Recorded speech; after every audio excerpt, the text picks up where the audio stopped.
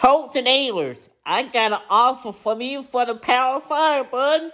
Congratulations, son, since you played for us anyway in the 70s. You to play for us anyway. Carolina football is the boss. Man, it's fun over there. Anyway, since the Pirate Club cheated sent out assaults on 30 different men, that was false. Hold years, I will restore your eligibility status in two years if you sit on the bench at North Carolina under Sam Howell for one year, you'll be getting 50 ownership.